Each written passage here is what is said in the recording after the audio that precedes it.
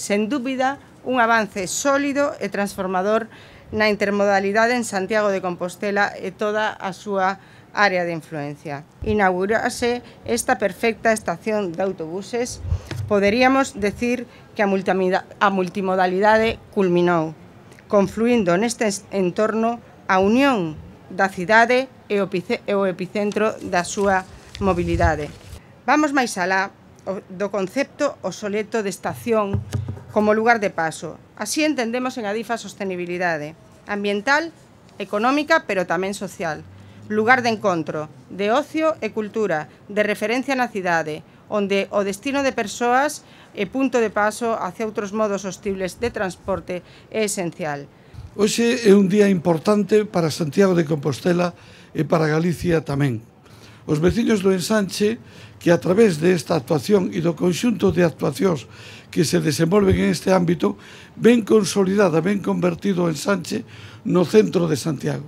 Houve un tempo no que o centro de Santiago era só a cidade histórica e o ensanche era un lado, hoxe o ensanche e a cidade histórica conxuntamente constituyen o centro de Santiago a todos os efectos.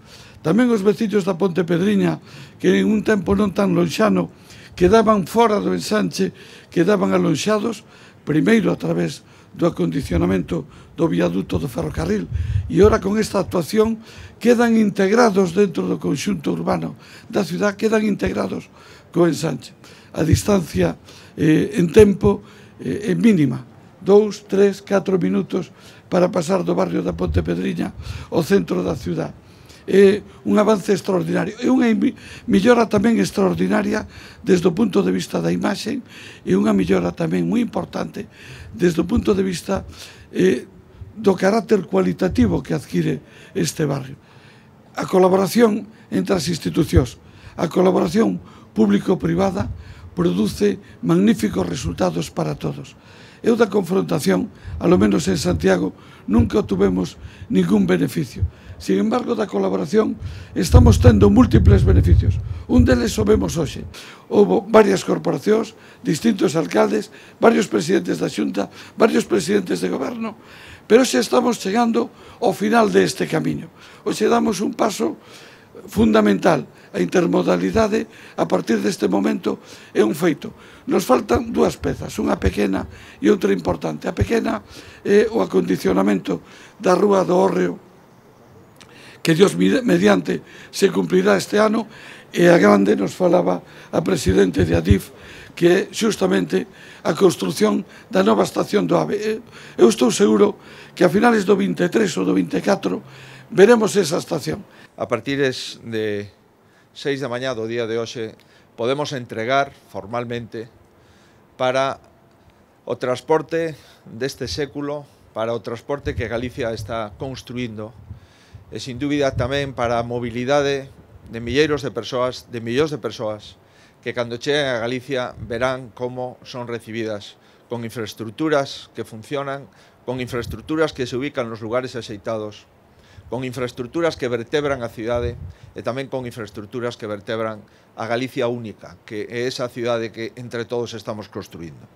Estamos hoxe culminando un soño que tivemos fai algúns anos de traer alta velocidade a este córner de Europa, a pesar da súa orografía, a pesar da súa dispersión, a pesar do seu coste, intentar diseñar unha Galicia policéntrica, unha Galicia que funciona cun metro en superficie que é o tren de alta velocidade que une a cinco cidades galegas sin renunciar en ningún caso a ese tren que nos una tamén con Lugo e con Ferrol.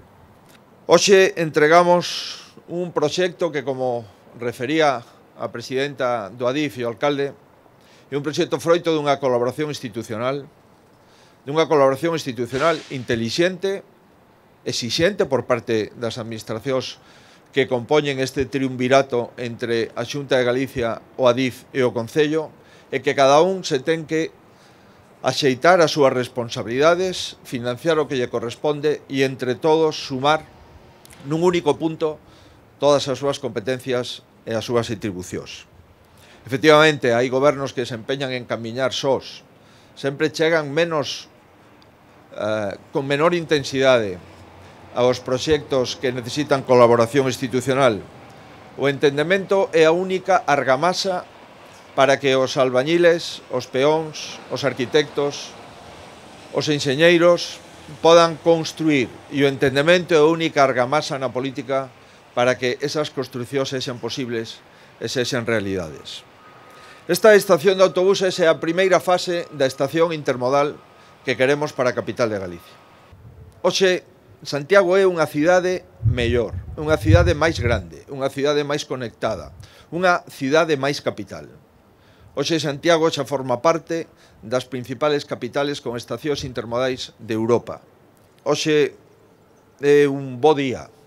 É un bo día non porque entreguemos esta infraestructura, senón porque nos permite recordar que isto é o que estamos rematando en Ourense, a súa estación intermodal de Ourense en Palme Isto é o que estamos rematando en Vigo, a estación intermodal de Vigo, que espero que pronto empeza a ser pasante. É un día importante porque nos obriga a finalizar e a iniciar finalizar o convenio e a iniciar as obras da Estación Intermodal da Coruña, igual que as obras da Estación Intermodal de Lugo. É un día moi importante porque tamén dentro de meses entregaremos a conexión entre a estación ferroviaria e a estación de autobuses en Pontevedra.